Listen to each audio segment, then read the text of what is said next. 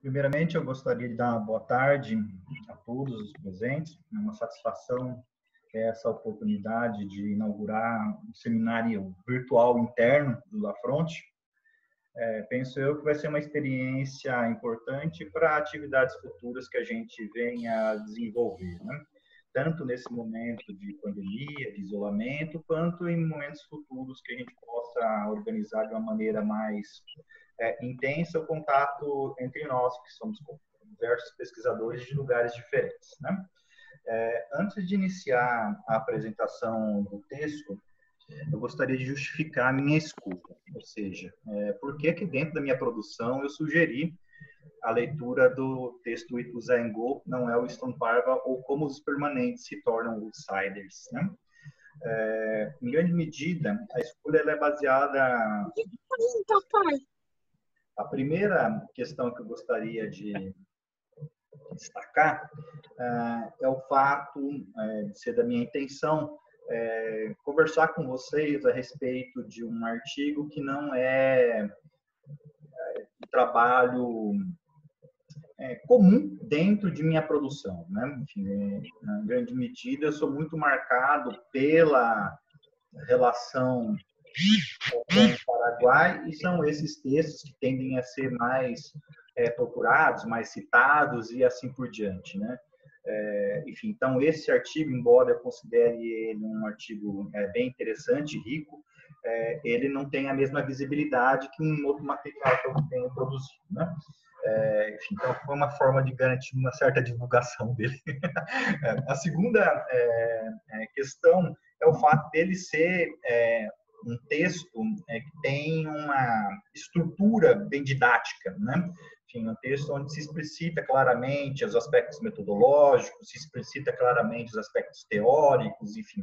É um texto, então, que ele é bem é, organizado e permite efetivamente a gente poder dialogar é, com certa tranquilidade, né? É, por fim, um outro elemento que eu acho que é importante de ser salientado é, de início é referente ao momento de produção dele. Esse texto, ou essa pesquisa, melhor dizendo, né, ela é derivada é, do meu pós-doutorado que eu fiz na Argentina em 2016, né? É, enfim, publiquei ele posteriormente, que em 2017 é, ou 2018. É, meu pós-doutorado, ele tem um aspecto é, que é interessante de ser explicitado para vocês já entenderem como que eu cheguei propriamente nesse problema, nesse tema que eu discuto no artigo. Né? A minha pesquisa é, de interesse é, no pós-doutorado era a respeito, fundamentalmente, é, de analisar é, como a construção da usina de Aciretá foi modificando a estrutura urbana de Poçadas é, e exigindo que os trabalhadores de caráter mais é, formal, né, é, fossem obrigados a se é, inserirem espacialmente dentro de suas experiências e práticas é, em outros lugares é, da cidade argentina. Né? É, no momento em que eu comecei a realizar o trabalho, comecei a realizar a pesquisa, é, eu observei de uma forma muito interessante é, que essas relações, de uma maneira bem objetiva, eram muito mais intensas é, do que eu imaginava. Tá? Em que sentido? É, era intensa porque não era unicamente os trabalhadores é, de, de, rua, né, os trabalhadores ambulantes, os messiteiros, né, que sentiram o impacto da modificação espacial. Né? É, os parceiros é, também, é, de certo modo, tiveram sua vida modificada e, consequentemente, o restante da população, porque ambos messiteiros quanto parceiros eram funções, ou são funções, é, que desempenham um papel muito importante é, na economia periférica ou subterrânea é, do município de Poçadas. Então, em Aceretá, ela começou a se tornar uma, um termo, uma palavra muito impacto ao longo do início da minha pesquisa é, de pós-doutorado em Poçadas. Né?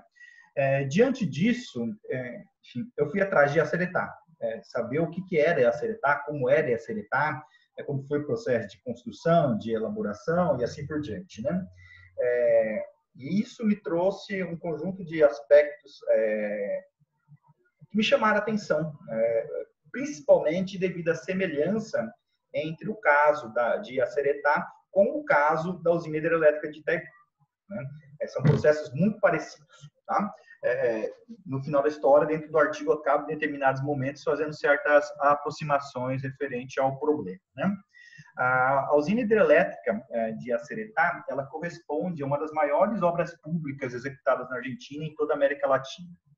É, os primeiros estudos para aproveitamento hídrico é, são de 1926, mas somente depois de 32 anos é que foram efetivadas medidas mais concretas para avaliar e garantir a viabilidade do aproveitamento energético do Paraná, quando por meio de um convênio argentino-paraguai foi criada a comissão técnica é, para estudar a viabilidade é, de se construir uma hidrelétrica naquele ponto. Né? Em 1973, foi o momento em que se criou a empresa binacional Yaceretá Argentina-Paraguai. Né? Então, é, até nesse aspecto histórico, é muito paralelo à construção de Itaipu, né? ou seja, que é um projeto antigo, mas que é efetivado de forma mais é, objetiva durante o regime militar. É o mesmo caso que acontece é, dentro da Argentina.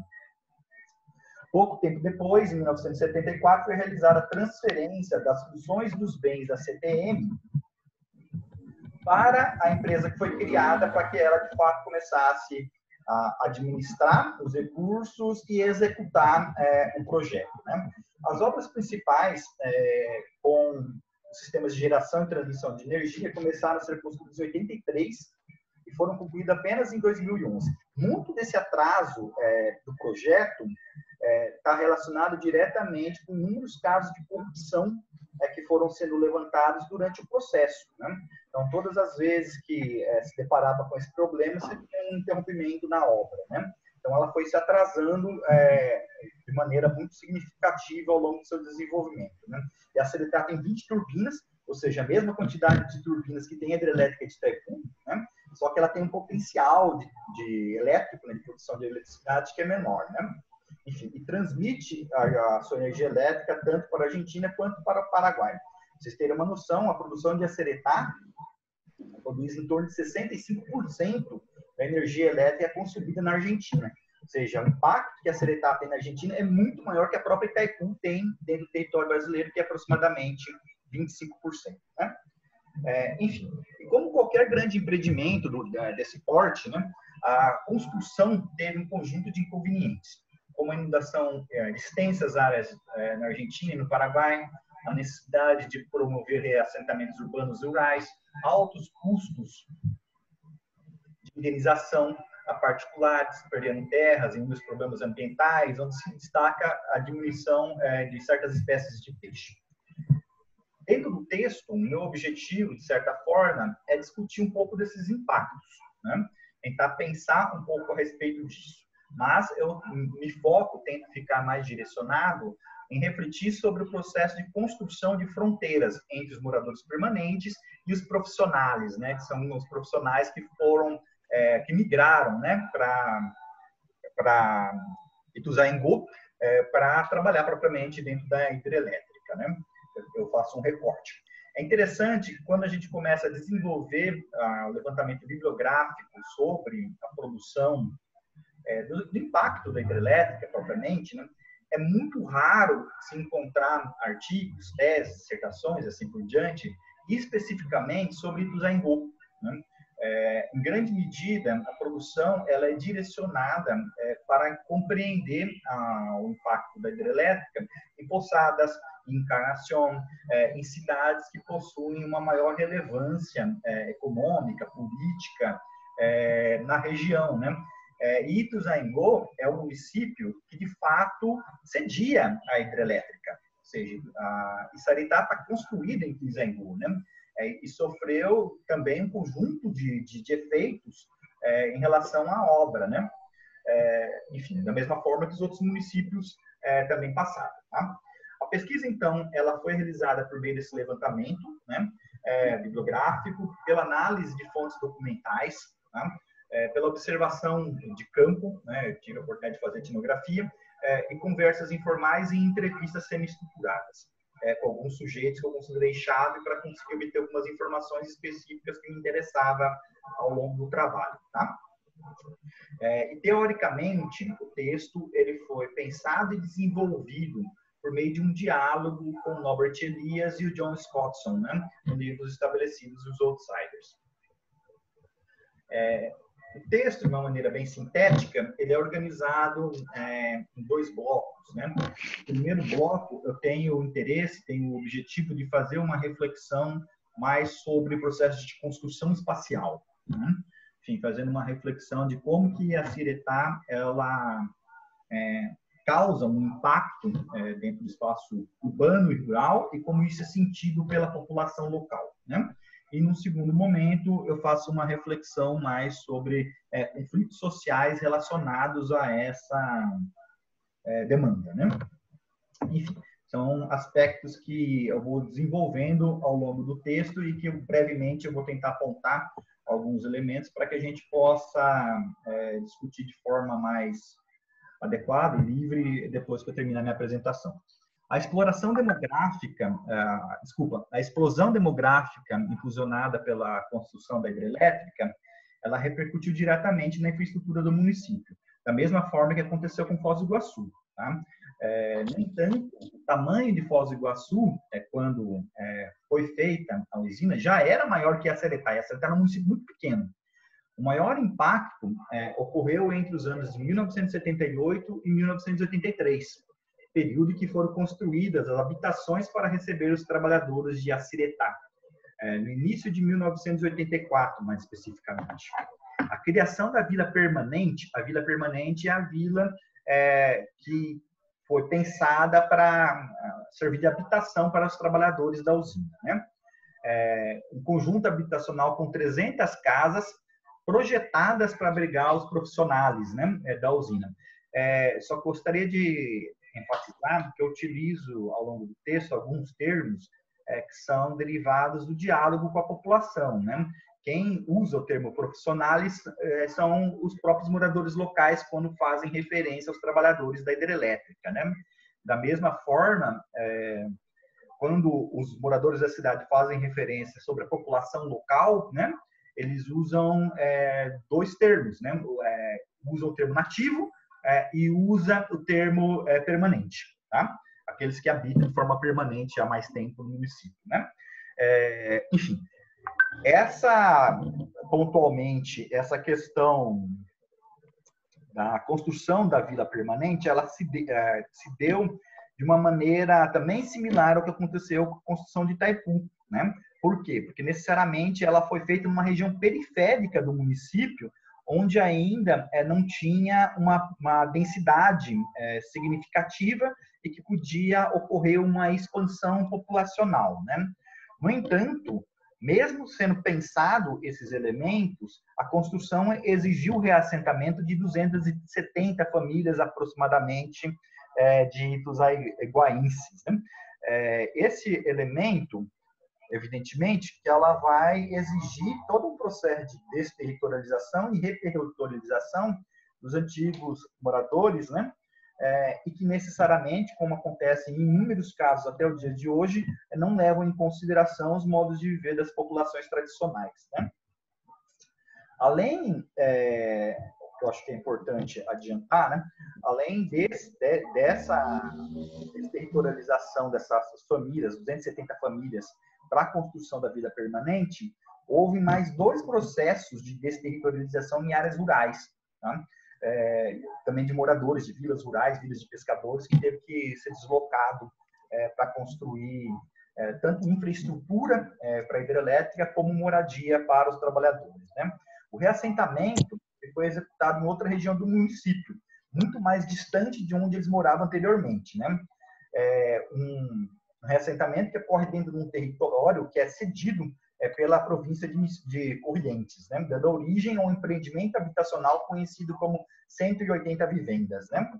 No relatório emitido pela própria Prefeitura Municipal de Ituzaingó, no ano de 2004, é, observa-se né, é, que ele explicita que as casas que foram construídas nessas 180 vivendas, né, ela de baixa qualidade, né, material de baixa qualidade, lotes pequenos, o que via, inviabilizava o desenvolvimento de antigas práticas econômicas, como, por exemplo, a criação de animais, porcos, galinhas, né, e assim por diante, e a agricultura de subsistência. Né dificultando a manutenção de usos e costumes tradicionais. Quem faz essa própria documentação é a Prefeitura de, de, de Posadas, né? de, de, de né? Ou seja, não é nenhum relatório de um pesquisador crítico, qualquer coisa do gênero, né? É a municipalidade que observa que o processo de reterritorialização deixou a desejar, né? É, o processo histórico é, durante essa década, final da década de 70, o começo, o começo da década de 80, né, é, demonstra um conjunto é, diferente de fluxos migratórios, né? Se por um lado a cidade ela se torna receptora de um conjunto de trabalhadores técnicos, né, devido à hidrelétrica, ela também se torna ao mesmo tempo é, emissora é, de migrantes mas não são qualquer imigrantes que vão embora, né, que saem de Cruzeiro, é, em grande medida, por aquilo que eu consegui obter é, na, nas entrevistas e na observação, são membros é, da elite política local, é, que vão perdendo seu espaço de influência com o fortalecimento dos profissionais. Seja, eles acabam tendo menos papel, menos importância na economia, na política local. Então, os jovens é, é, da classe dominante de Ituzaingó começam a migrar é, da cidade e enfraquecer um conjunto de, de, espaços que antes eram um espaço de convivência é, dessa população. E um terceiro aspecto também que se observa é, em relação à migração ou à organização demográfica é, diz respeito que para parte é, da classe trabalhadora urbana mais pobre, né, a construção da hidrelétrica ela representou é, uma, possibilidade de fixação, né? É, principalmente pela necessidade de prestação de um conjunto de serviços é, braçais, né, para atender a demanda é, da população local. Né? Nesse sentido, a gente observa então é, que o, problema ele, ele, é um tanto quanto complexo. Né? É, de um lado, a gente vai enxergar um conflito entre um conjunto de práticas modernas é, inseridas é, pelos é, profissionais, é, que acabam entrando em conflito direto com práticas tradicionais das populações locais, mas, por um outro lado, é, para outra determinada faixa populacional, né, a forma no qual vão ser visualizado, representado aquele momento histórico vai ser distinto. Algumas pessoas vão considerar já naquele momento é, que a construção da hidrelétrica era uma, uma oportunidade para uma nova inserção é, dentro do mercado laboral, né? Essa situação de conflito entre moderno e tradicional que ocorre naquele momento histórico, né, é, pode ser visualizada ou representada por duas coisas que, ao meu ver, é, são é, exemplares é, desse contexto, né? Primeiramente, é, o fechamento do clube da elite tradicional da cidade, né? É, que era um clube muito antigo, no qual a, a, classe dominante, tanto política quanto econômica, administrava é, tanto a, a parte econômica quanto social, digamos assim. Né?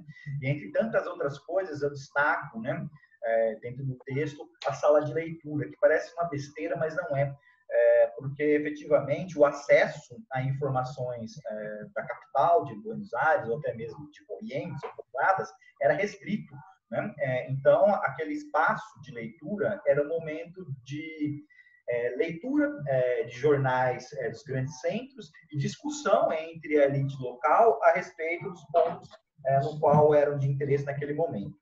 Então, esse clube ele tinha um papel importante nas relações de socialidade é, durante o momento em que a elite local era mais coesa. Né? A partir do momento em que o clube, é, que a, a hidrelétrica do Zaimbo chega e traz uma nova população e vai criando clubes específicos para atender a sua própria população, esse clube perde sua importância e fecha suas portas. Né? Uma outra questão que se observa também é, a questão, é o aspecto religioso. Né?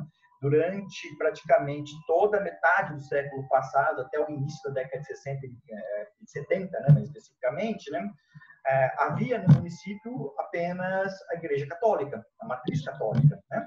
É, depois da hidrelétrica se visualiza o aparecimento de um conjunto de outras denominações religiosas, né, possibilitada é, por uma heterogeneidade que é trazida é, com a hidrelétrica. Né?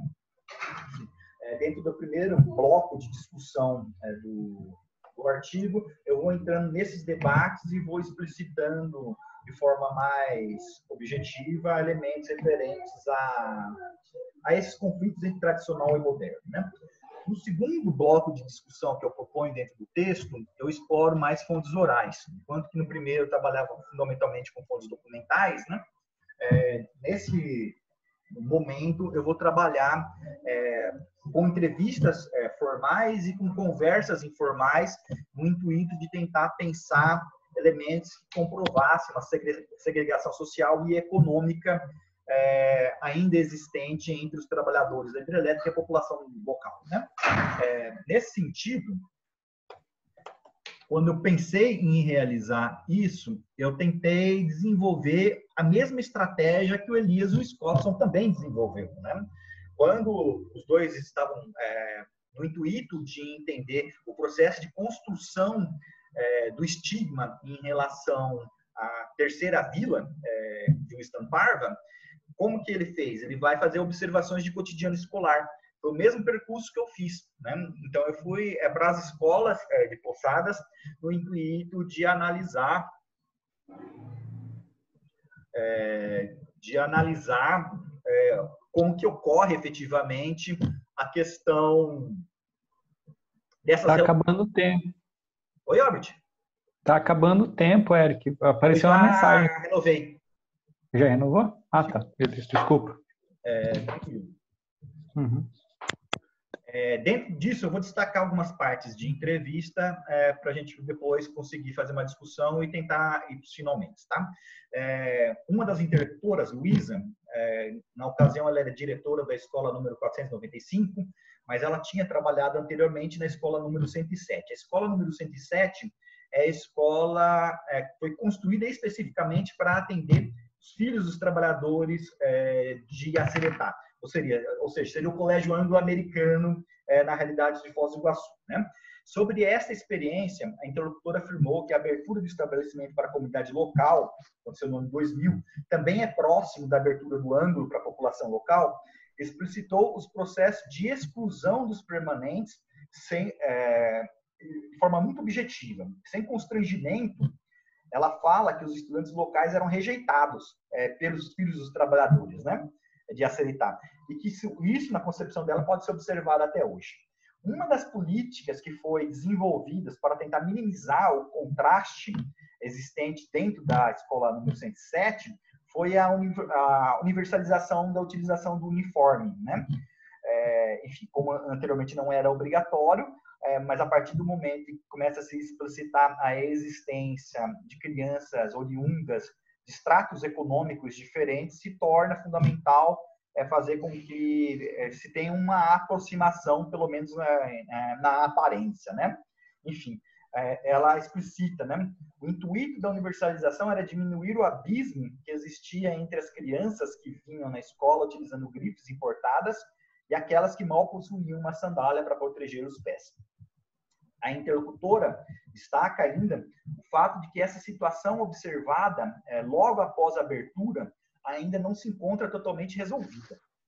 Ela narra é, que ainda há alguma tensão, mas que é normal na compreensão dela uma tensão entre crianças de nível econômico diferente. Supostamente, um elemento que pode contribuir com a manutenção do problema está relacionado com a reprodução de antigas práticas pelas gerações atuais. O que, que ela observa? Ela observa o seguinte, que as crianças que estudaram é, na escola 107 na década de 80, é, hoje são adultos e colocam seus filhos para estudar na escola 107. Dessa forma, essas crianças ainda continuam reproduzindo determinadas representações imaginárias que os pais tinham a respeito da comunidade externa de Ituzaingó. Tá? Enfim, é algo bem é, interessante e que necessariamente o Norbert Elias também é, vai observar. Né? A reprodução de uma prática sinaliza que o processo de estigmatização existente não corresponde a uma ação individual, mas uma postura arraigada em determinado grupo social. Avançando com uma discussão de uma outra interlocutora, Solange, ela indica é, uma conjuntura onde o processo de segregação imposto pela EBAI é, começa a ser naturalizado e sintetizado como uma consequência natural do desenvolvimento. Em síntese, eu vou demonstrando dentro do texto como há um processo de naturalização é, da desigualdade originada pelo processo de construção da hidrelétrica. A partir do momento em que a tensão entre permanentes e profissionais é resumida simplesmente por diferenças de níveis econômicos, os processos de desterritorialização e o ataque aos antigos modos de viver dos moradores tradicionais deixa de ter uma origem histórica. Não suficiente, o processo de estigmatização social fica introjetado nos dois grupos como algo natural, que foge da responsabilidade individual ou grupal. Elias e Scottson chamam a atenção que nessa situação, onde o estigma social atribuído ao outro se transforma em um estigma material, ocorre uma coisificação, onde a responsabilidade pela desigualdade, pelo estigma, é atribuída a um agente externo, como a natureza, os deuses ou ao próprio desenvolvimento, como é o caso. Na opinião de Fabrícia, uma outra interlocutora, os alunos são bem educados, possuem valores. Os problemas são poucos comuns entre as crianças, não há bullying ou violência. O principal problema é quando falta algum aluno. Entretanto, não é possível nivelá-los nivelá ou homogeneizá-los. Enquanto os alunos da tarde refletem as dificuldades que vivenciam com suas famílias, os alunos da manhã possuem melhores condições. Os pais acompanham mais. E isso se visualiza nos resultados. Não é difícil concluir que a grande maioria dos filhos dos profissionais estudam é, no período da manhã a posição de Fabrícia com a utilização naturalizada das desigualdades econômicas e sociais para justificar a diferença do desempenho dos alunos corresponde a um outro exemplo de coisificação do estigma. Fabrícia compara de maneira sutil os modos de viver de permanentes e profissionais, valorizando os usos e costumes trazidos pelos migrantes e que gradativamente foram se sobrepondo às, às práticas tradicionais. Né? Nesse, nesse contexto, é explícito a presença de um isolamento derivado da segregação espacial imposta aos grupos. Esse isolamento, inicialmente, era profundamente físico, ou seja, dos bairros, mas se ampliou para as relações sociais a partir do momento em que as fronteiras sociais foram sendo demarcadas por processo de estigmatização. Não suficiente, embora possa ter ocorrido aproximações entre. Um segundinho que eu tenho que convidar o seu Gustavo de novo. Pronto. É, não suficiente, embora possa ter ocorrido aproximações entre permanentes e profissionais, por meio de políticas implantadas é, nos conjuntos residenciais, os permanentes reterritorializados, as diferenças nas formas de uso do território, idealizadas pela IBAC desejadas pelos pescadores, lavradores tradicionais, garantem a permanência um invólucro e garante a permanência da segregação. É, em grande medida, aqueles trabalhadores é, que foram morar a 108 vivendas ainda buscam é, se manter por meio de práticas tradicionais, principalmente a pesca, né? o que faz com que eles tenham uma dificuldade muito significativa em sua inserção econômica e social, já que toda a, a ocupação de peixes na região se transformou devido à formação do lago. Né? não diferente do que aconteceu com a Itaipu também. Todo o processo de estigmatização social desenvolvido e sustentado pelas diferenças culturais e econômicas existentes entre os dois grupos em determinado momento deixa de ter a finalidade exclusiva de proteger os profissionais da possível ameaça representada pelos permanentes. Ele passa a ser um instrumento legitimador de poder e das relações hierárquicas entre os grupos, reproduzida no interior das escolas por meio das diferenças existentes entre aqueles possuidores de maior capital cultural e econômico em relação aos demais estudantes locais. De início, a tentativa de se fechar é, dentro do seu bairro, dentro de sua própria escola, realizada pelos profissionais, tinha o intuito de uma autoproteção.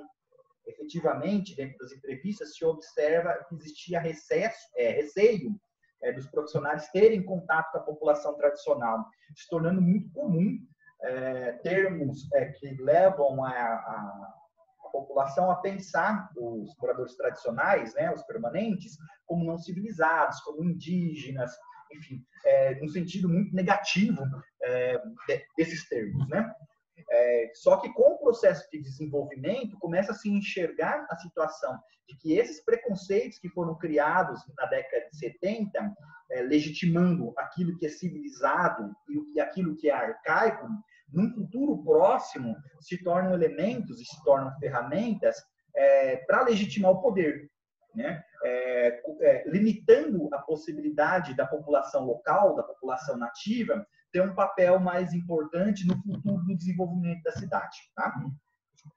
É, enfim, a situação atual, onde as desigualdades radicais são naturalizadas e escondidas atrás do discurso economicista, denuncia ao mesmo tempo a coisificação do estigma e alguns tipos de adaptação à realidade social vivenciada.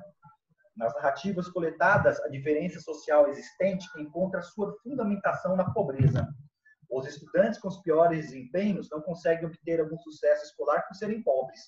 Por sua vez, jovens desempregados não conseguem emprego por serem menos qualificados e são menos qualificados também por serem pobres.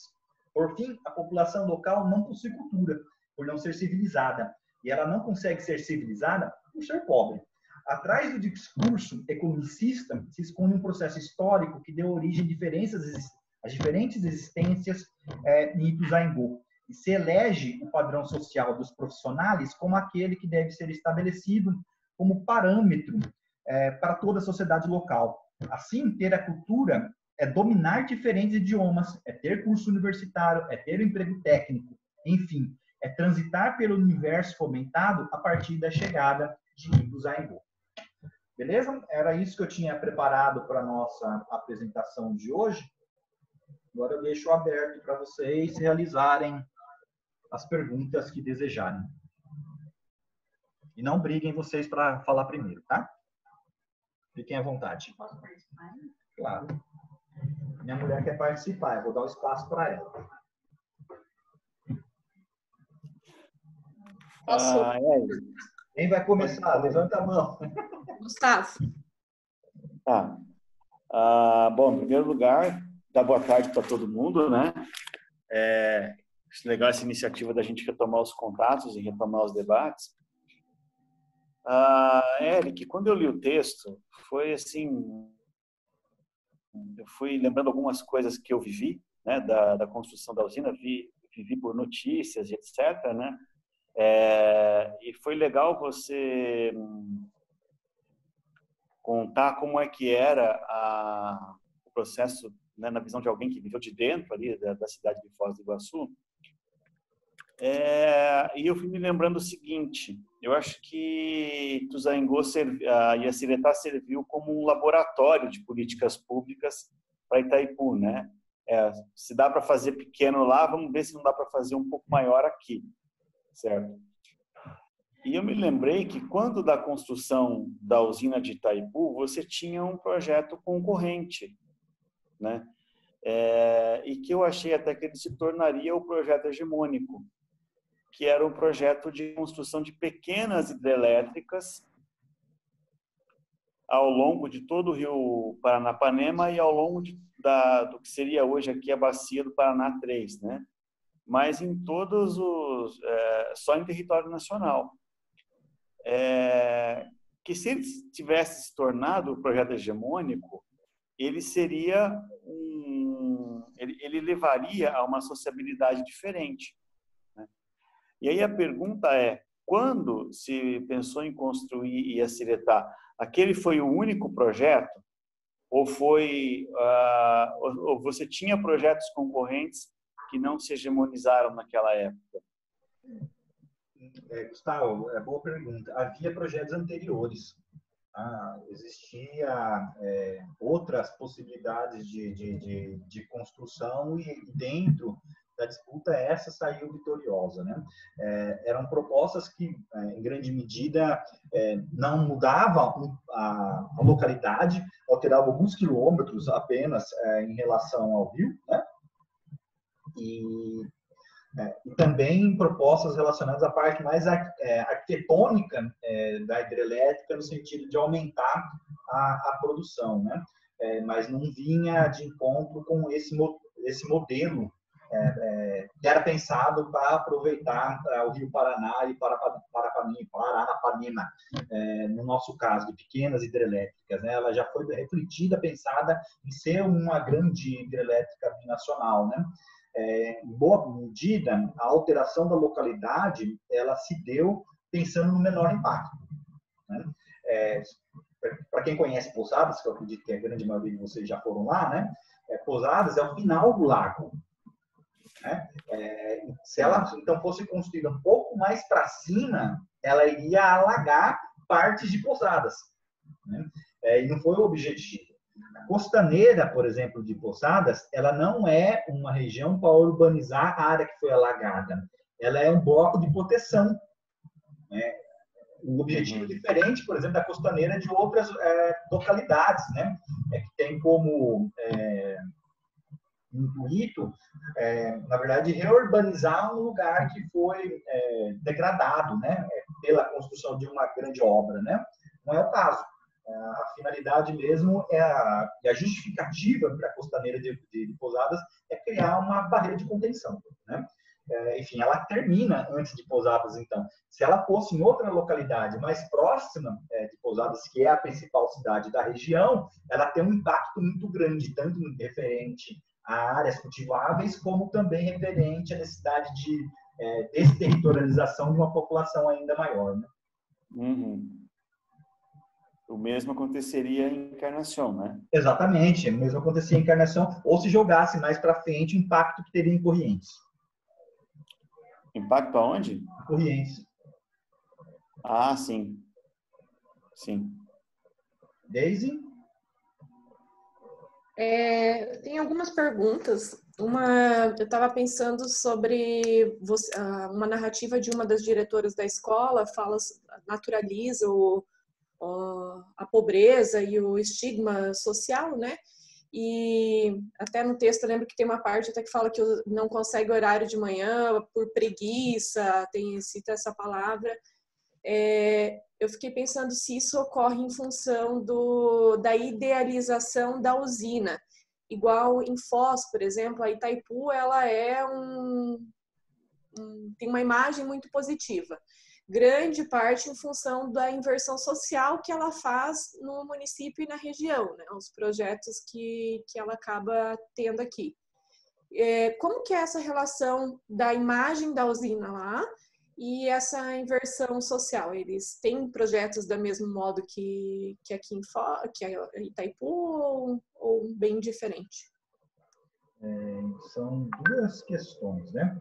É, o primeiro elemento que é importante é, diz respeito a um processo de construção de trabalhador ideal.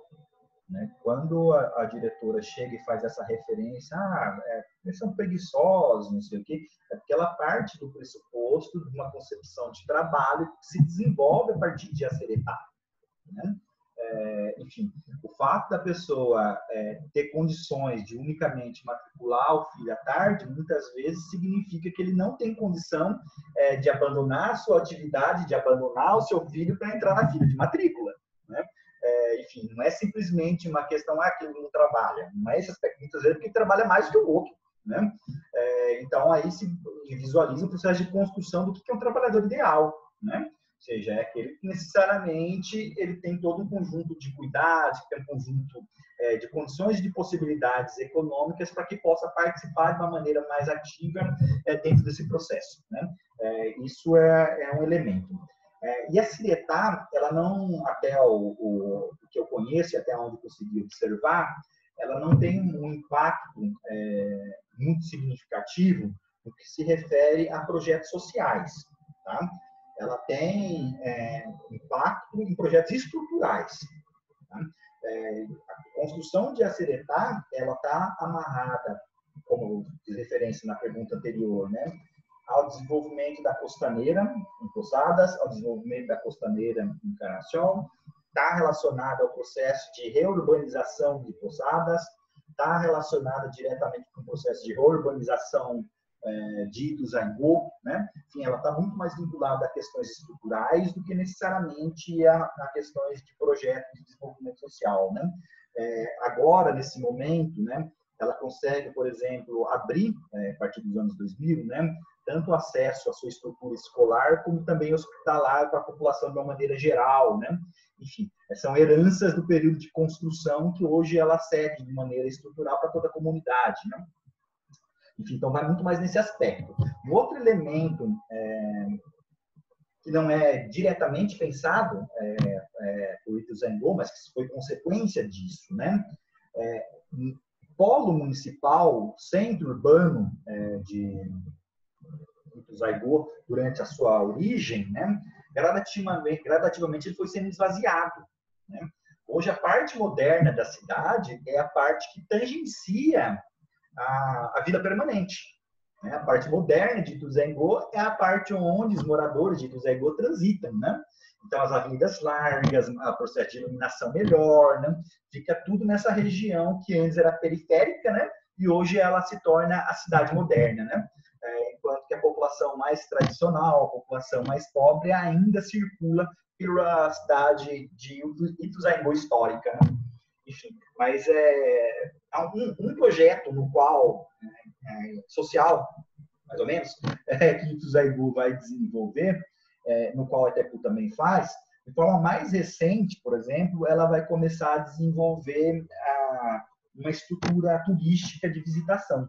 Né? Ou seja, tem um transporte que vai buscar pontualmente os interessados em visitar em Tuzangu, que leva para a hidrelétrica, tem passeio técnico e assim por diante no sentido de se criar uma outra dinâmica econômica para a localidade, né? Ela é altamente dependente para a população tradicional da pesca, né? Tipo, eles vivem fundamentalmente tanto da pesca é, subsistência mesmo, né? E para venda, né? Local, como também da pesca esportiva, né? Tipo, existe vários é, andando pela cidade, você observa que existem vários escritórios, oficinas, né? É, trabalha fundamentalmente com o processo de, de, de mediar pescadores profissionais de outras localidades para trazer para Ituzaingó. Mais alguém que queira perguntar?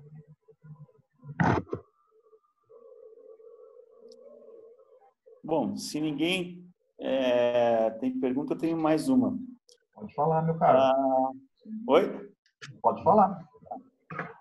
Quando você conversa com os trabalhadores e com os antigos moradores aqui da, da região, é, alguns deles apontam que eles sentem saudade da vida que eles tinham, né? Então, eles, eles apontam que eles sentem saudade da vida que eles tinham é, e teve uma entrevista que eu fiz, inclusive, com um professor da Oeste, em que ele falou que ele sente saudade da geografia que ele via, né, do, do, dos saltos de Sete Quedas, de Guaíra e tal. É, eu fui até olhar para ver como é que era o, como é que eram os saltos de Apipé e tal, coisa mais linda aquilo, né? Você chegou a observar isso também na tua pesquisa? É, o que que os antigos moradores falavam de como é que era a vida deles antes da da EBI e como é que ficou depois da EBI? Sim, sim. Ah, nesse sentido, a gente vai ter é, vai ter dois, dois, dois ou três lugares de observação desse aspecto, né? É, Primeiro, aquele próprio relatório que a prefeitura desenvolveu tem entrevistas nesse sentido para mostrar a percepção dos moradores. É um relatório muito bem feito, né? É, o segundo aspecto que chama a atenção, né, é, durante as próprias entrevistas que eu, que eu realizei, próprio processo de observação, né? É, essa questão da nostalgia em relação às dinâmicas interiores, ela é presente principalmente entre os mais velhos, né? Entre uma população que tinha um modelo de produção é, muito mais é, de subsistência, né? Para essa população, efetivamente, a, a é, existe é, essa essa nostalgia. Até mesmo aquela funcionária da biblioteca pública, no qual tive a oportunidade de conversar, ela faz uma referência entre a Ituzaingó moderna e a Ituzaingó tradicional, dentro de um sentido muito nostálgico, né? Tipo, de que necessariamente a verdadeira Ituzaingó, a verdadeira classe dominante, elite local, hoje ela era uma classe aristocrática sem função, né? Mais ou menos nesse sentido, né? quando eu li o texto, pensei na nobreza mesmo. Pensei é. naquela nobreza da corte, né? Ociosa, enfim, que já não tem mais importância dentro do processo, enfim, que manda seus filhos embora para ir fazer medicina, fazer direito, em outros lugares não retorna mais para casa, enfim, vai mais nesse sentido, né? Então, ela, ela me demonstrou ser muito presa a essa concepção ainda, né? É, presa a esse sentimento que é essa elite, que supostamente ela devia ter algum tipo de articulação, é, tem a respeito é, da cidade. Né? A importância já para os trabalhadores da SAIS é muito nítida, muito nítida. É, quando você conversa com a população mais pobre, né, é muito claro é, a forma no qual eles falam sobre as dificuldades que eles, eles encontram hoje, né, é, para sobreviver, né? porque eles não conseguem ter uma produção é, agrária suficiente para autossubsistência, né, dentro da, da, dos lotes no qual eles vivem, né, e por outro lado, eles, a grande maioria deles está muito longe do rio, né, o que também dificultou a pesca, né. É, então, são duas atividades que eram fundamentais, né, e que hoje perdeu muita importância, né que os obriga cada vez mais a ser dependentes é, do, do, centro urbano, né? E que não é muito é, simpático a eles. Né? Tipo, efetivamente, eles acabam não tendo muito...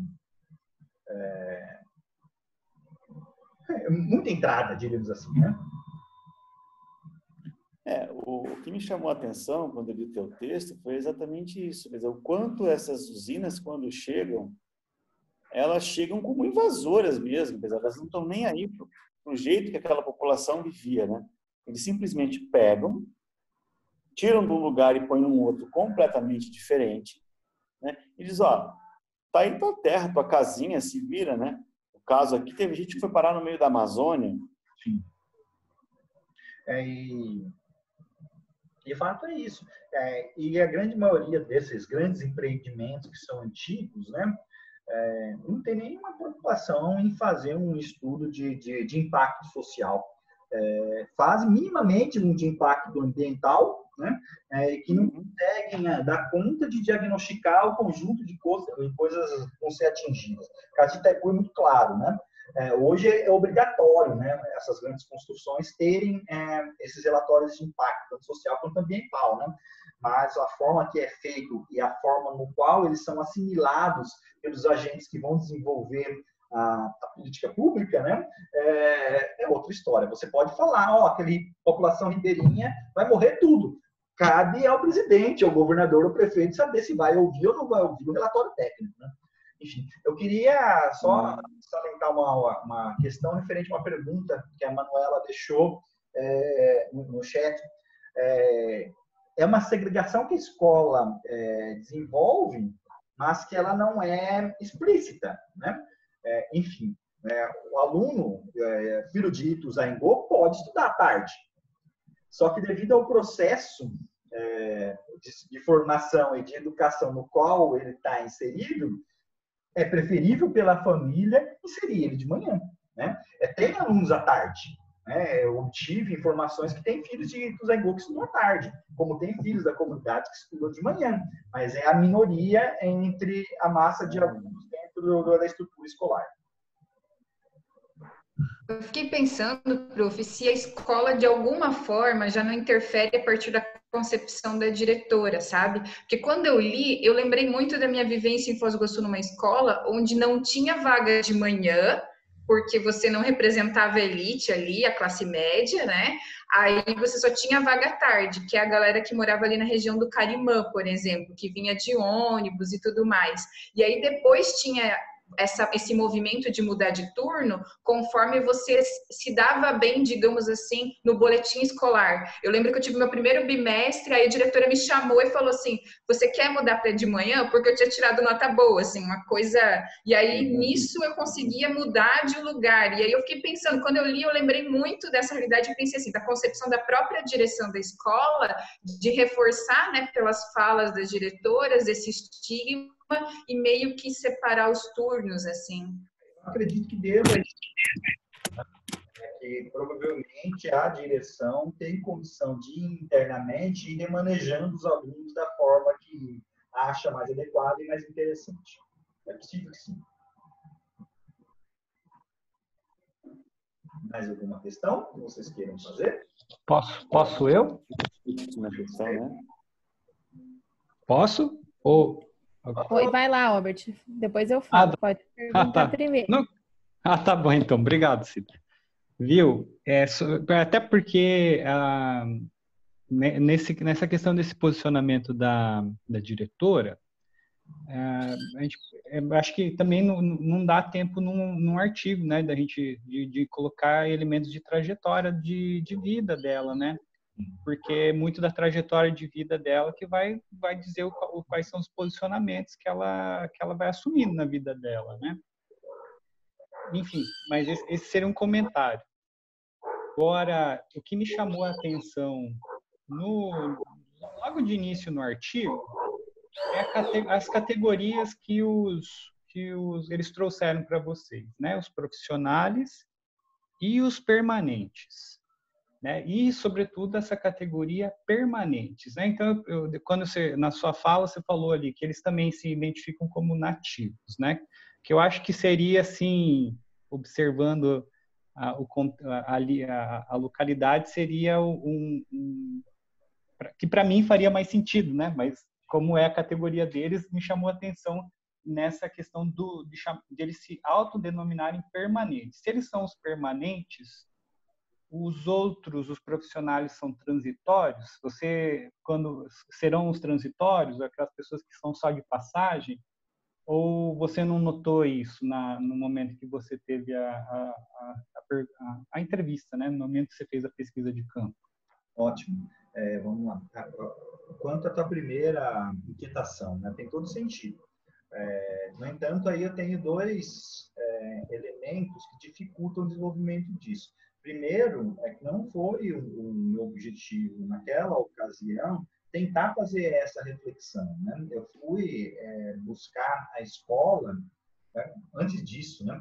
É, eu fui buscar a escola no intuito nem de conversar com as pessoas, eu queria ver o livro de registro. Era esse o objetivo, né? Que o Elias trabalha com o livro de registro, eu queria fazer igual ele, mesmo procedimento, né?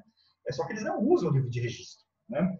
É, enfim, então eu tive que pensar naquele momento, que eu já estava na escola, não tinha livro de registro, eu estou na frente da pedagoga, da diretora, da professora, como que eu consigo aproveitar aquele momento, né?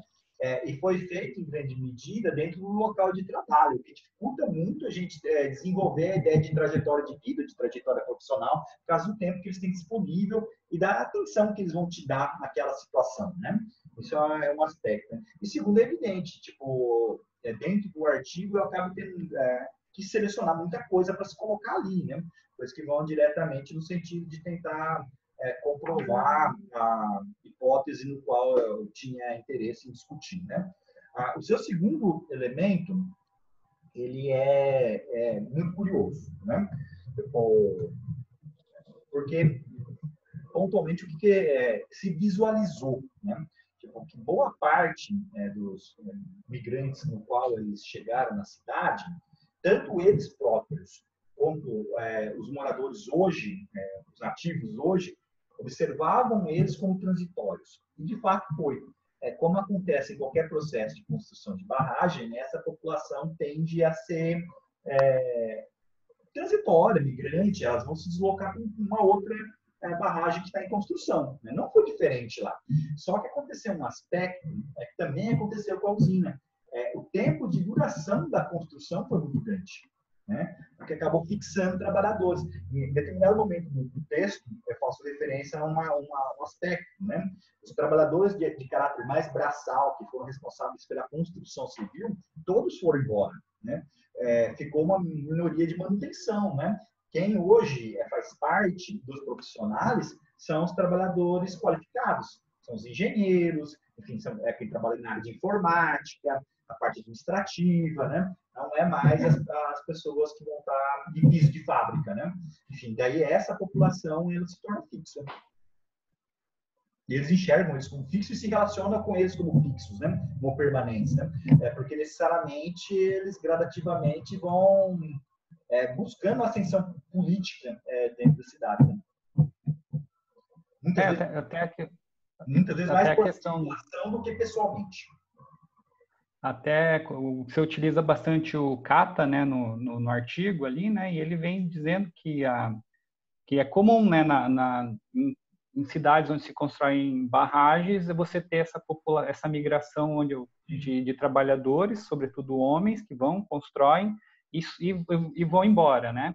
E daí era até um outro comentário que eu ia fazer, porque o, o Kata ele vai colocar para gente que o que, o que é, justifica né, a, a continuidade do crescimento de Foz é a Cidade Leste, é o Paraguai, né? É o comércio, é o contrabando e o descaminho ali.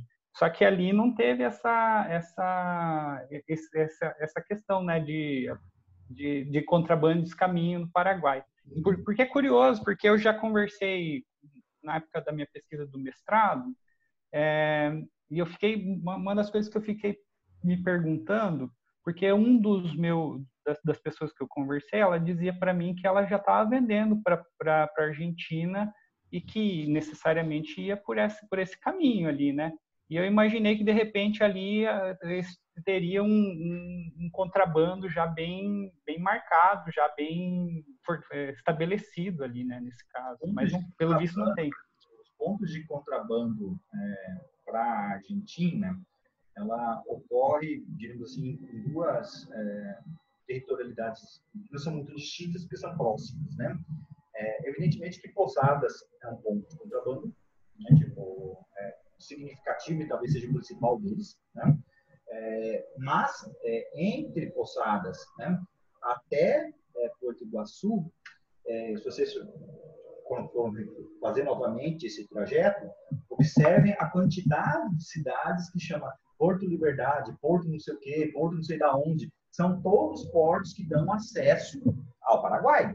Tá? É, e esses portos, eles só possuem agência aduaneira é, durante o dia. De noite eles são fechados. Né? Mas a estrutura está lá. Né? Então, eles são utilizados de forma muito livre é, durante a noite para passagem de mercadorias dos mais diversos tipos. Né? É, durante a, a, extensão até pousadas, então, é o foco de, de, de de contrabando. É, Ituzaingó, a, a estrutura é, para esse tipo de atividade ela é muito precária. Né? Não que não tenha a utilização de, de, de, de portos. Né? Um aspecto é, que é importante salientar, né? ela era uma, uma região composta por pequenas ilhas, similar a Guaíra. Né? um conjunto de ilhas pequenas. Algumas dessas ilhas ainda existem, né? É, então, essas ilhas, muitas vezes, elas servem de, de, de intermediação né, para essas questões. Antes da Cida falar, só eu, eu ia perguntar antes, eu acho que você, em grande medida, já respondeu. Então, não, nesse processo da construção da, da usina e o deslocamento do, dos, dos permanentes, não, não sentiam aparente um, uma migração para atividade ilícita, para o contrabando? Não. Cida Maria. Olá. Então, antes só de perguntar, é, agora eu só estava pensando também, oi, estava pensando aqui que muito interessante pensar nessas categorias, né, dos profissionais e dos permanentes porque não são necessariamente, não é uma contraposição binária, assim, dos permanentes e dos que não são permanentes, né? É uma, uma outra coisa que é mais importante na outra categoria do que não ser permanente. Enfim, é uma coisa que dá para a gente pensar também. Mas o que eu queria te perguntar em relação ao trabalho de campo, assim, é como que foi a, o acesso a esses diferentes grupos, né? Se foi fácil o acesso a esses grupos e se você sentiu é, falando com um e falando com o outro é, alguma alguma questão assim no tratamento com você como pesquisador por estar tá ouvindo é, falas de diferentes lados? Com certeza, Cida. Eu acho que toda pesquisa de campo que a gente realiza, né, é, necessariamente a gente está trabalhando com sujeitos que se encontram em locais diferentes, é, muitas vezes conflitivos, né? É, a gente é tratado de maneira diferente e acaba visualizando discursos que são diferentes, né? É, nesse sentido, a gente pode explicitar é, três formas distintas, né, é, de reação à minha presença. Né? E a partir disso dá para poder pensar os mecanismos de entrada, né? É, quando eu é, me inseri é, em Ituzaingó, eu desenvolvi simultaneamente é, duas estratégias. Né? É, quais são essas duas estratégias? Primeiramente, eu vou não, primeiramente no modo de falar, fiz as duas juntos, né? É, eu vou dentro dos órgãos públicos, né? Para tentar pensar é, os planos de desenvolvimento. Esse é, um, é algo que eu sempre faço. Fiz em Pesegô, fiz em Pousadas, é, tentar buscar a, as políticas que são pensadas é, para a cidade historicamente, né? Ou seja, como que ela foi pensada na década de 50, 60, 70, até os dias de hoje, né? É, esse foi um aspecto. E também dentro do caráter oficial, é, a minha aproximação com o Ituzaingó, né? Tipo, com a, com a, desculpa, com Iaceretá, né? É, com os técnicos de Iaceretá propriamente, né? É, nesse é, primeiro grupo, já existe distinção. Né? A, a, prefeitura, em grande medida, ela se apresentou de uma maneira muito mais é, sensível, mas muito mais desorganizada. É, embora eles compreendiam a minha necessidade e eram simpáticos à minha intenção, a parte de organização burocrática é, não era adequada e não facilitava é, o trabalho. Tá? É, esse é um elemento diferente é, de Aceretá, que é o contrário. É, e a Aceretá, ela foi muito resistente à minha presença, resistente às minhas perguntas, mas possui é, uma estrutura de trabalho, de pesquisa maravilhosa. Eles possuem uma biblioteca gigante enfim, na cidade, é, que guarda toda a documentação, os livros e assim por diante. Mas para você ter acesso, existe um conjunto burocrático de procedimentos que são criados de acordo com a sua cara, a sua cor, seu idioma e assim por diante. Né? Então, tem e a sua pesquisa, né? E a sua pesquisa. Então, tem esse aspecto que é bem é, marcante. Enquanto eu ia fazendo isso, evidentemente que eu comecei a desenvolver meu processo de inserção é, social dentro de outras comunidades, dentro de outros grupos. Né? Isso, efetivamente, eu fui realizando por meio da vivência. Né? Ou seja, era através do momento em que eu ia num restaurante, no que eu ia numa farmácia, ia estabelecendo os contatos naquele momento e a partir desse momento ia construindo uma rede é, de relações que me permitissem aproximar é, dos moradores nativos, né? É, esse foi o caminho que eu fui trilhando, porque eu fui lá sem nenhum tipo de interlocutor, né? Eu não conhecia ninguém, ninguém me apresentou, enfim. Então, eu fui descobrindo a cidade, descobrindo as pessoas é, conforme eu estava presente em Ituzaingó, né? Então, isso eu fui desenvolvendo paralelamente. Um terceiro aspecto é, da pesquisa, que daí já é algo, que foi algo mais é, como resposta a determinadas dificuldades que eu fui encontrando dentro do texto, né, foi buscar é, tanto a Secretaria de Cultura, né, é, devido ao tipo de, de, curso que era oferecido, é, enfim, assim por diante. Ah, uma pergunta que a Deise fez anteriormente, não sei se a Deise está presente ainda, tá? É, eles financiam, então o Zanguini é, é, financia alguns cursos de música, de teatro, dentro da Casa de Cultura deles, né? É, eu havia esquecido disso. Eu fui na Casa de Cultura para tentar obter algum tipo de informação e também nas escolas, que é onde tem esse segundo bloco de, de, de reflexão. Essa terceira via é, de pesquisa que eu desenvolvo acaba me apresentando um outro tipo de, de, de, de relação, né? É porque antes de chegar propriamente na população que usa esses dispositivos, esses aparelhos, né, seja a escola, seja a casa de cultura, a gente tem lá é, um sujeito que é, intermedia essa relação. Né? Ou seja, antes de chegar nos alunos, eu tenho que conversar com a diretora, com a professora. Antes de eu chegar aos alunos da casa de cultura, eu tenho que passar por um professor, por um diretor, por um secretário e assim por diante. E muitas vezes essas pessoas bloqueiam o acesso. Tá?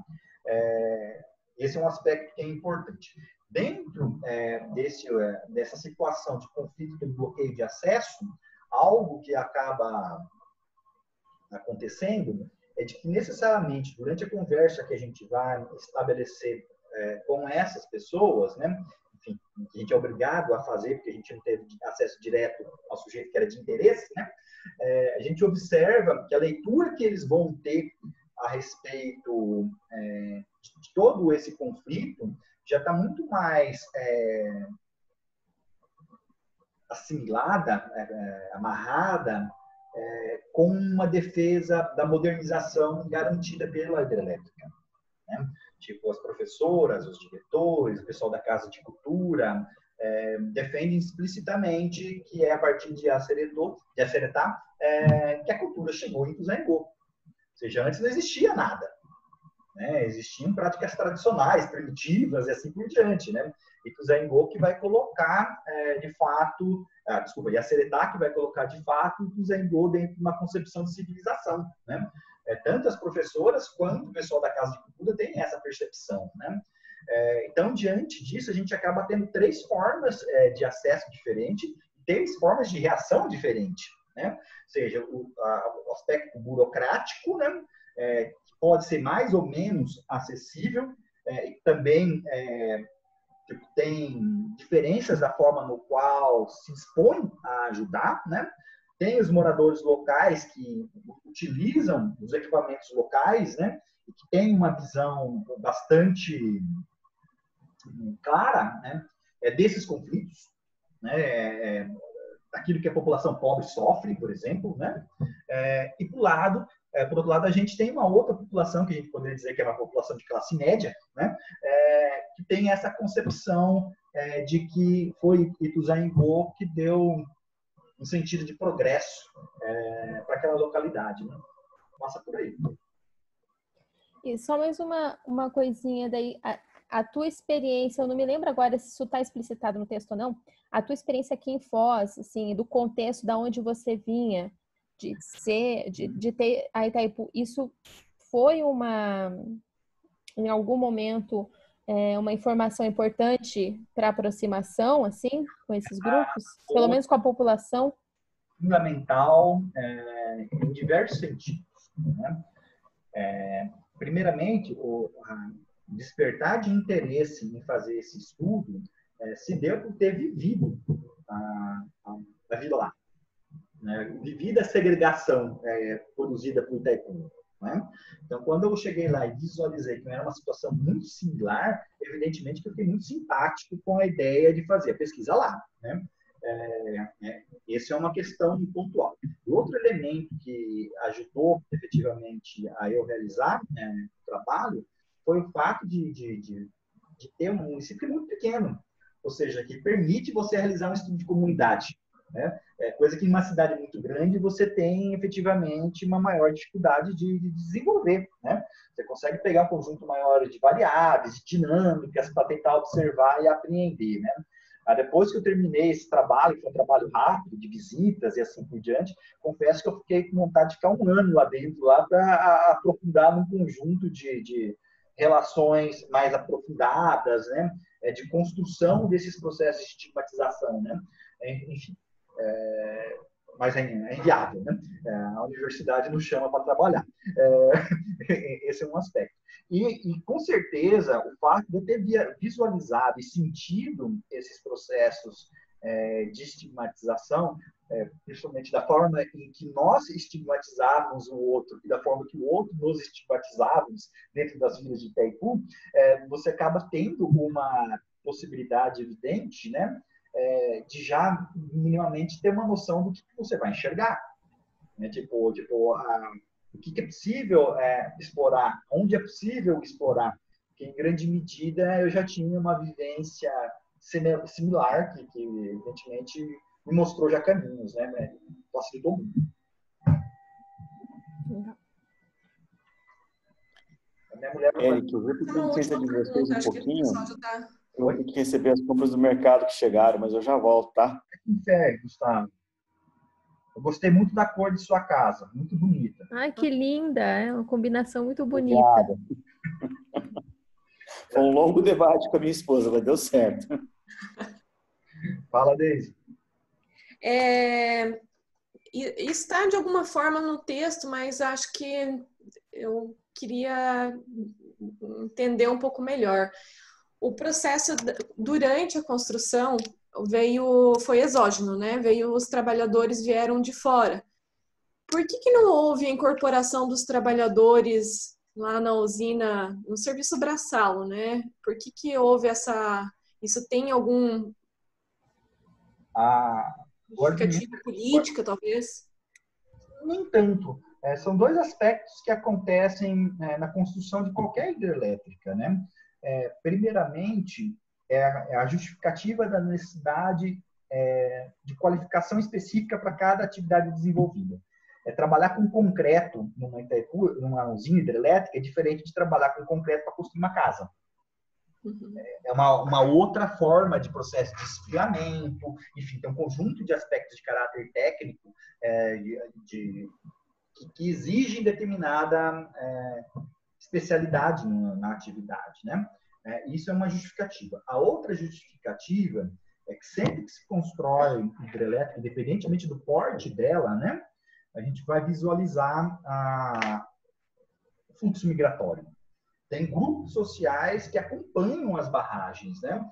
Começa a se construir uma barragem na África, vai para lá, se constrói, enfim, assim por diante. Né? Isso envolve pessoas que vão trabalhar diretamente no processo de construção civil, como também pessoas que vão trabalhar é, na prestação de serviços, né?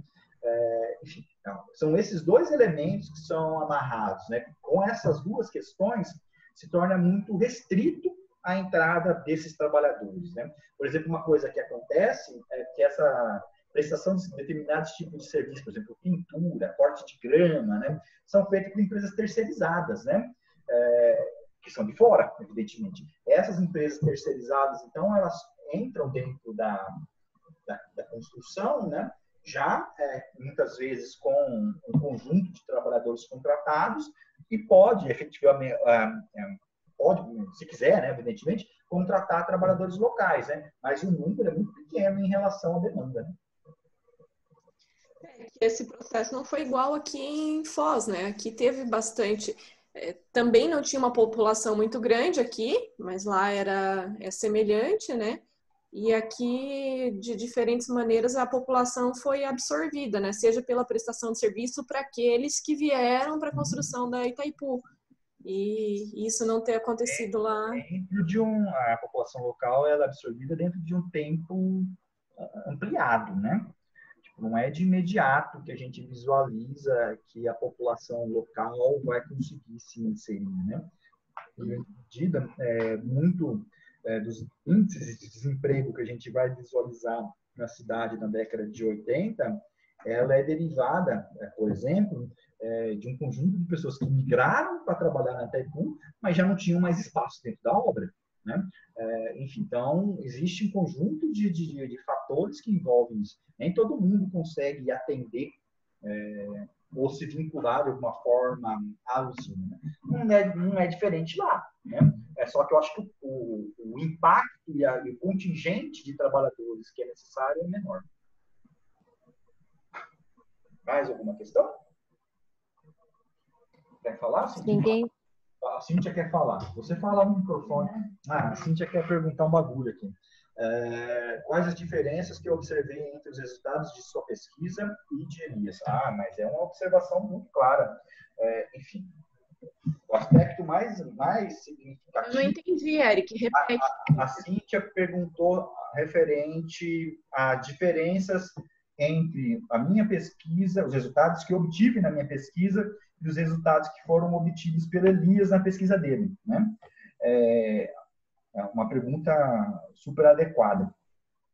É, pontualmente, o que a gente vai enxergar na obra de Elias é que os permanentes vão construir é, os elementos de estigmatização em relação aos outsiders. Ou seja, os moradores mais antigos, então, vão criar é, estigmas, né? É, primeiramente para afastar e depois para legitimar o poder que eles tinham. É diferente no caso é, de Ituzaingó, onde a população mais nova, a população que chega, é ela que cria. É, o preconceito é ela que cria o estigma e é ela que vai instrumentalizar esse estigma e preconceito para depois legitimar o seu poder econômico e político. Né? É o oposto. É por isso que tá, o, o título do texto é, é, é Ituzaingó não é Winston Parva, ou seja, porque as relações elas são contraditórias. Ou seja, lá não foi é, permanente que é, expulsou o outsider, né? É, é, o contrário. O outsider, ou seja, aquele que veio de fora, que acaba expulsando permanente. Pois é, essa questão eu tinha ficado pensando nela quando eu li o texto. E eu acho que é tanto no, no texto de Elias quanto nessa observação, está muito mais relacionada à posição com a questão econômica do que efetivamente a quem a, ao tempo de permanência, né? Porque lá no estudo que ele faz, aquelas pessoas que também estavam lá primeiro tinham uma, um acesso à questão econômica, né? E, e não, não tem essa diferença tão grande e acentuada como aconteceu ali nessa na usina, né? Exatamente. É, dentro do texto do, do, Elias, uma observação que ele faz e que eu gosto muito é, diz respeito à, à necessidade é, da, da classe já estabelecida, do grupo já estabelecido, em manter o seu status. Né? Uma das preocupações que Elias vai demonstrando dentro do texto é de que necessariamente aquele grupo mais antigo ele está inserido é, nas diversas instituições, nos diversos aparelhos que existem na, na região, é, em cargos de gestão, é, em cargos de influência, é, e eles é, não querem perder isso, a capacidade é, política de controle. Né? com a chegada da população nova, eles visualizam uma ameaça em relação à manutenção dessa hegemonia, né? Então, muitas vezes, a construção do estereótipo e do estigma é para deixar claro que aquela pessoa não tem a qualificação, não tem a competência para requerer ou para solicitar participar ou assumir o cargo que é ocupado hoje por uma pessoa que tradicionalmente conhece, controla, domina as relações sociais da localidade. Né? É, dentro dessa situação do Zaingô, quando esse embate é feito, a população local que controlava os espaços de sociabilidade abre mão desses espaços de sociabilidade, né? É, ou seja, o clube é fechado, a direção é a escola é repassada para alguém de Tuzangô, ou seja, eles vão é, perdendo esses cargos de influência e começam gradativamente a ser ocupados por pessoas diretamente ou indicadas é, por Tuzangô. Não sei o que, que você acha, mas talvez, acho que tem relação com a própria natureza da mudança, assim, que é a chegada de Jaciretá, que tem a ver com desenvolvimentismo, que tem a ver com um, uma noção do que é civilização, uma noção do que é progresso. Então, isso tudo está dentro, né, assim, aumenta o, a valorização, valoriza a categoria dos profissionais, que é quem detém esse conhecimento, quem está inserido nessa lógica desenvolvimentista, né, que, que é, a, é a mudança. Então, eles são valorizados, eles têm mais força do que a categoria dos permanentes que estão lá, né? Exatamente, com certeza. Eu acho que, em essência, é isso que está por trás é, de toda a discussão. É uma, um aspecto ideológico, né? É, que está disputando a hegemonia, é, pontualmente. É corretíssimo. Se ninguém tiver, tem mais uma pergunta. Pode falar, sim. Quer perguntar primeiro aí, Max? Eu ia fazer uma pergunta, é, primeiramente, boa tarde, meus colegas. Ah, quais foram as dificuldades enfrentadas para fazer essa pesquisa? Haja vista que você chegou numa cidade onde ela foi transformada, você não era permanente, né? você não é local. E quais foram as dificuldades que você teve para chegar nesse resultado? As dificuldades, eu acho que elas são né, de duas ordens. Tá? Uma é uma dificuldade de caráter é, emotivo. eu realizei meu pós-doutorado é, logo depois que o Francisco nasceu. Então, acho que a maior dificuldade foi a saudade de casa. Né? É, a dificuldade de, de não estar com a família perto e assim por diante. Eu acho que isso foi algo incômodo, diríamos assim, durante minha pesquisa de campo. Tá? É, esse é um elemento. É, e da parte, diríamos assim, mais técnica é, do trabalho, que eu acho que é aquilo que você é, direcionou a sua pergunta, tem assim uma, uma forma de trabalho, eu tenho uma forma de trabalho é, que me traz, digamos que, resultados, né? Que elas se baseiam em duas ações muito simples, tá? mas que efetivamente consegue é, resolver muitos dos meus problemas. É, enfim, como não sei se é de conhecimento de todos, é, mas eu tenho crise de ansiedade, sou extremamente ansioso. Né? Então, para iniciar uma pesquisa num espaço novo ou para explorar determinada realidade que eu ainda não conheço, né, é, é algo que para mim é bastante é, amargurante, digamos assim, é algo complexo, tá? Então, quando eu inicio o trabalho, tanto em Poçadas quanto é, em Ituzaingó, quanto como eu fiz trabalho de pesquisa de campo no Chile, também foi da mesma forma. Né? A primeira coisa que eu faço é me recolher. Né? Enfim, eu vou me recolher, vou tentar ter uma vida normal é, nos primeiros dias. Né? Seja, vou ao restaurante, vou ir tomar uma cerveja, é, enfim, começo a ter uma vida é, é social da forma que eu teria é, em casa.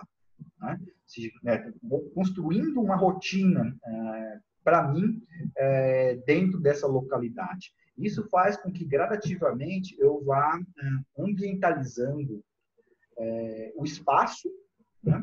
É, e as pessoas. Né? Enfim, é, começo a sentir o local onde que eu consigo ser melhor é, atendido, onde eu tenho uma recepção mais adequada. Né? Enfim, então a vivência ela vai sinalizando para mim é, determinados é, lugares que eu, nesse momento de aproximação, vou enxergando como mais ou menos adequados para a realização do trabalho, né? Enfim, então, é, primeira estratégia que eu faço é me recolher e gradativamente e me inserindo né, socialmente pela manutenção de minha própria rotina. Esse é o trabalho que eu vou realizando, né?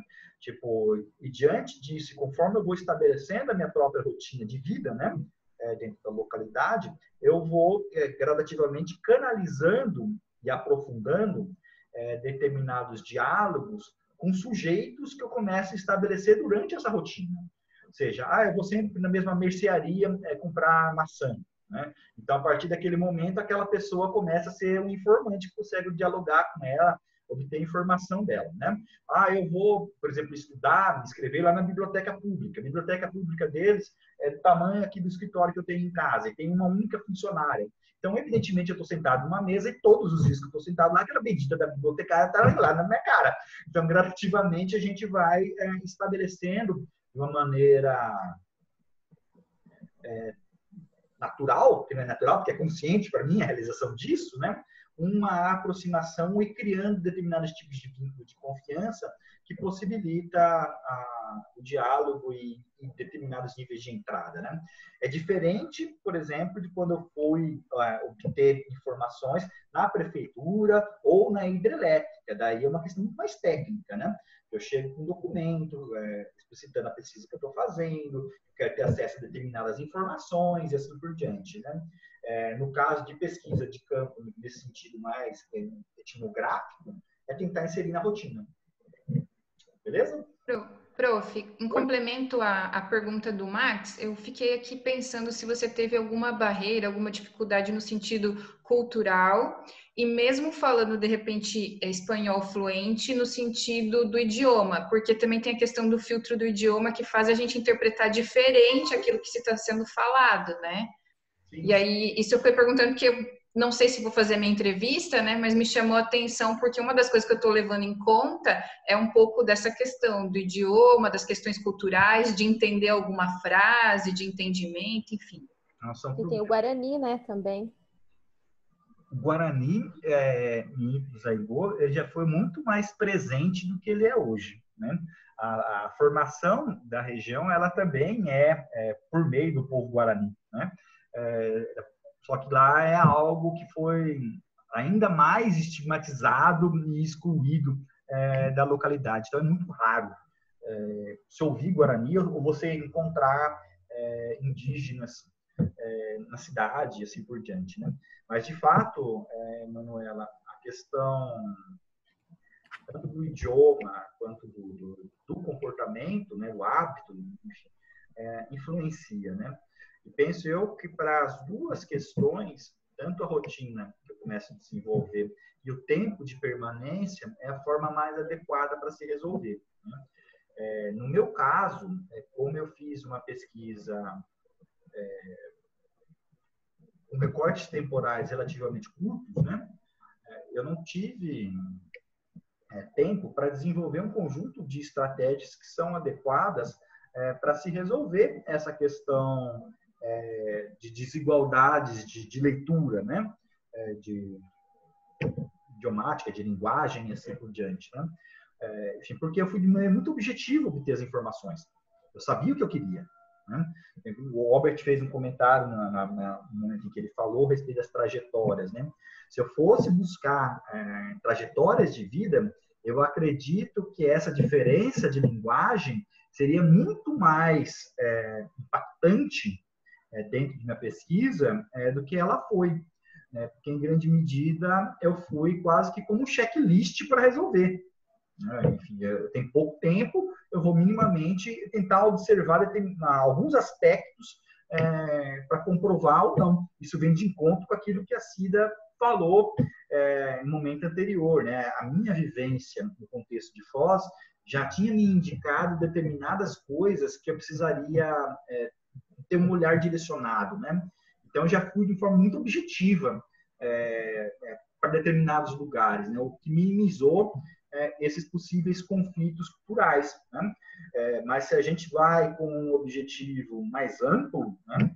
É, de caráter histórico e de reconstrução de relações é, mais simbólicas, né? Enfim, trabalhando com semiótica, qualquer coisa do gênero, não tenha dúvida nenhuma que a os elementos culturais eles podem ser entraves é, e fazer com que a gente cometa, cometa deslize.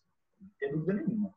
Eu, eu devo ter feito alguns, né? mas penso eu que eu consegui controlar é, bem essa, essa questão sendo técnico, sendo objetivo.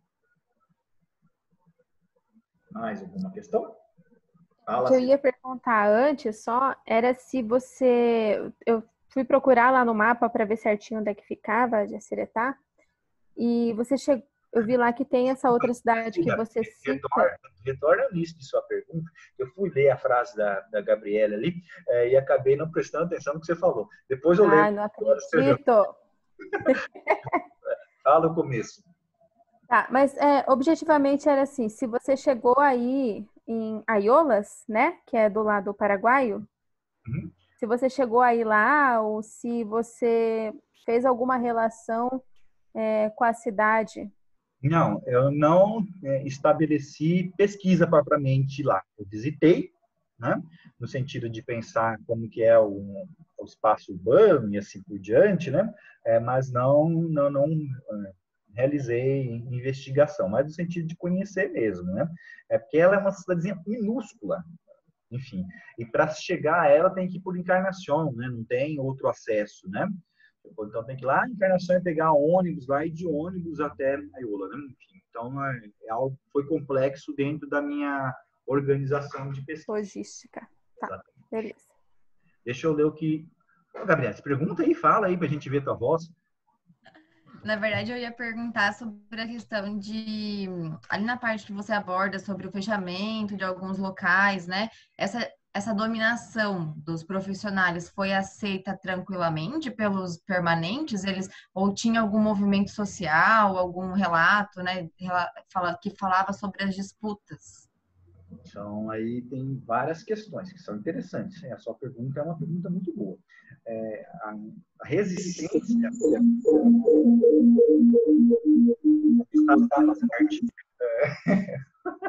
a resistência, eu acho que ela está dando um aviso. Eric, você tem uma outra reunião para começar agora da escola de seu filho. Daqui a pouco. É, enfim, o, a resistência, ela é apresentada e visualizada de maneira é, diferente, né? Enfim, nem sempre ela acontece por meio de um conflito direto, objetivo que se enxergue, né? É, dentro daquilo que eu consegui observar, embora não aborde no artigo, isso é uma, um elemento importante que é algo que eu possa desenvolver. Né? Tem três situações que ela, ela surge. Né? Uma, indiretamente, ela está comentada dentro do texto, né? É, que, que é o próprio fato da pessoa enxergar que ela já não mais possui espaço naquele lugar, né? É, e ir embora. Isso é uma forma de, de, de lidar com a situação, né? Tem tentar reconstruir a sua vida em, em, em outra situação. Mas tem outros dois elementos é, que apareceram durante a pesquisa que eu acho que são mais interessantes. Tá? É, em jornais publicados na década de 80, havia pequenas é, colunas. O pessoal de Foz do Iguaçu vai, vai, vai entender, tipo o Corvo lá do, do jornal, lá, né, né enfim, tem uma, um espaço lá na, na, na, antiga Gazetinha lá que, que um colunista enfim, chegava lá e fazia notas sociais, observações críticas sobre comportamentos locais e assim por diante. Eram sempre colunas muito pequenas, né? Entre os Ego também tinha isso. Tinha um colunista, colunista local, né? Publicava matérias é, é, no jornal desse período da década de 80, é, no sentido de se tentar problematizar a presença é, dos profissionais, né? No sentido de falta de respeito que aqueles profissionais tinham com os moradores locais, enfim, com os trabalhadores, com a cultura, com o idioma, né? Enfim, tinha isso de forma muito objetiva dentro desse jornal. É uma segunda forma é, de resistência, né? E por fim, você vai ter é, organização social, tá? é, principalmente dos trabalhadores rurais né? tipo, os trabalhadores que é, tanto de pesca quanto de produção de subsistência, né? Esses vão se organizar é, em associação, né? É, para poder é, estabelecer um diálogo, um embate, né? Pontualmente, de maneira muito mais consolidada né, com maior força em relação a Ituzaingó. Né? Em determinado momento, eles vão visualizar, como está nos documentos da Associação de Fundação, né, é, de que sozinhos né, eles tinham fragilidade, eles eram vulneráveis né, para serem cooptados pelo discurso das políticas de Ituzaingó. Né? É, de, de. Né? Então, por meio da associação e por meio de uma discussão coletiva, ficava é, na concepção dele mais é, simétrico né? o processo de, de, de discussão né? e de estabelecimento de resistência. Mais alguma questão? Fechou? Você vai perguntar ou você vai pedir para eu ficar? Ah, a minha esposa me comunicou que cancelaram a reunião do meu filho. É, mas, em todo caso, eu acho que a gente já pode encerrar, né? porque já deu uma hora, mais de uma hora de conversa. Queria agradecer, eu acho que foi bem produtivo, foi uma experiência rica, legal. Né? Quinta-feira a gente se encontra novamente nesse mesmo bate local, é, com uma discussão proporcionada pelo senhor Gustavo, o Gustavo, que mandou o segundo texto. Oi, né? É, achei legal a, a ideia, Eric, a iniciativa de retomar os debates do grupo, né? É, como eu escrevi no, no, no, grupo do WhatsApp, o teu texto, ele retoma uma discussão que eu acho que vai ser muito central para nós daqui para frente, que é a questão do do trabalho, certo? É, então, seguindo na mesma toada, eu, eu disponibilizei um livro que foi publicado na Argentina com experiências do programa Alpha 3. E o, nosso, o meu trabalho, junto com o professor Adilson, no Alpha 3, foi discutir experiências de economia solidária.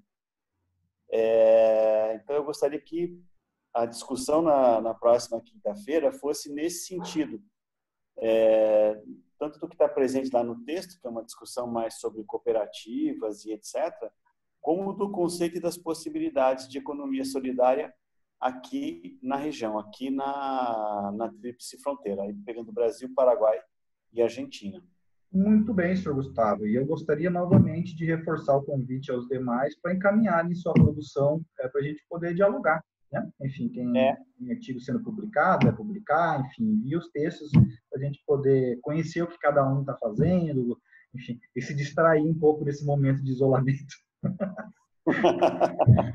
Beleza, gente? Abraço Beleza. a todos, fiquem bem e fiquem em casa. Vocês também. É. Tchau, tchau. Um abraço, tchau, tchau. Até mais.